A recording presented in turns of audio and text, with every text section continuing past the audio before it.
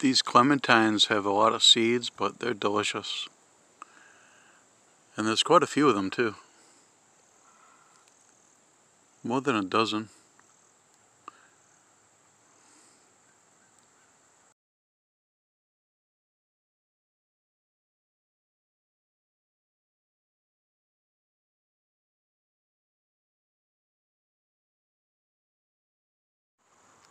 The blueberry bushes still haven't dropped their leaves yet.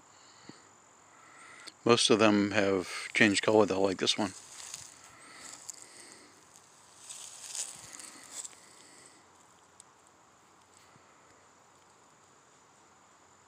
The camellia has started to bloom. And this is one of the last spiders still in its web.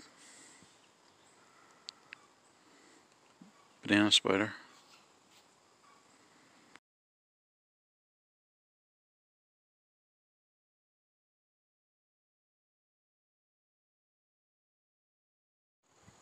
It looks like it got a little bit too cold for this purple stuff.